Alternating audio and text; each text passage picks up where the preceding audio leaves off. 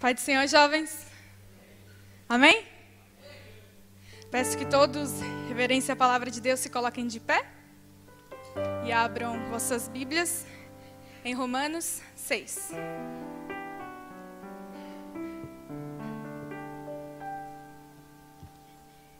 Glória a Deus. Todos encontraram, digam amém? Que diremos então?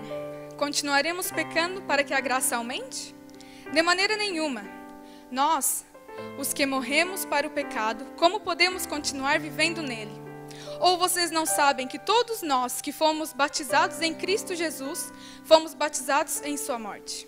Portanto, fomos sepultados com Ele na morte por meio do batismo, a fim de que, assim como Cristo foi ressuscitado dos mortos, mediante a glória do Pai, também nós vivamos uma vida nova.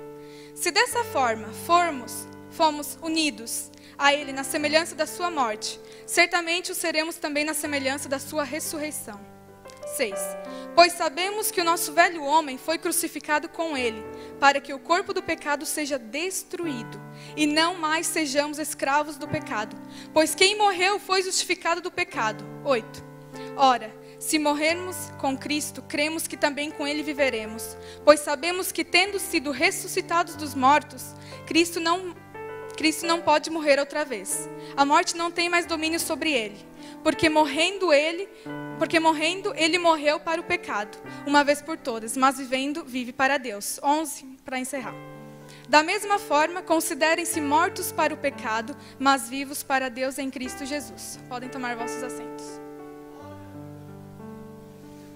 Então, há duas semanas eu comecei a pensar como tem sido a minha conversão desde então. Desde os nove anos eu sou convertida.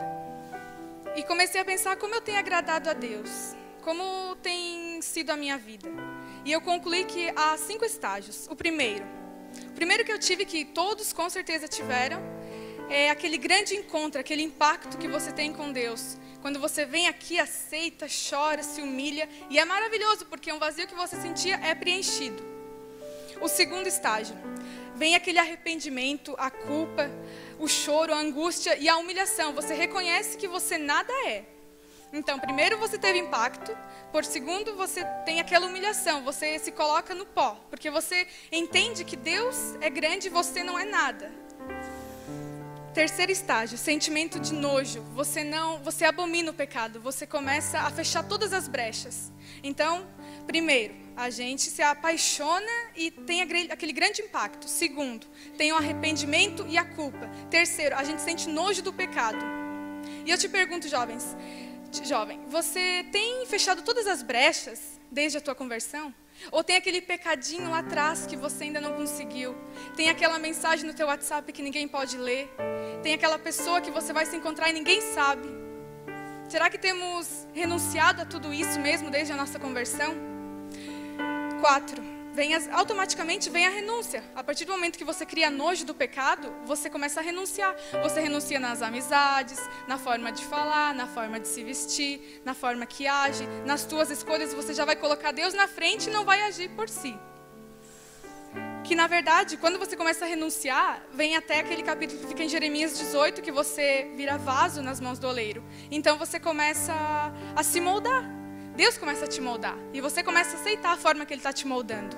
E cinco, para encerrar, é a aproximação de Deus.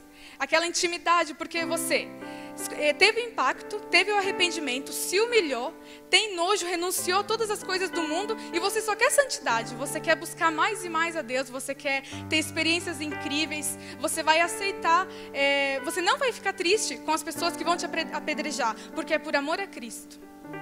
Então eu quero colocar para você essa noite. Esse é o verdadeiro primeiro amor. É esse. Se você não sente mais essas cinco coisas aqui, ó, se você não passou por isso, eu acho que você deve rever a sua conversão. Porque alguma coisa não está certa. Se você não fez esses cinco estágios aqui: encontro, arrependimento, nojo do pecado, renúncias, que você tirou tudo para fora, tudo que era do velho homem, você acabou com aquilo e agora só busca intimidade, busca experiência, busca se aproximar, fazer a vontade dele, ter uma vida irrepreensível. Amém? Então fica essa palavra no teu coração para você rever se você realmente ainda está no primeiro amor.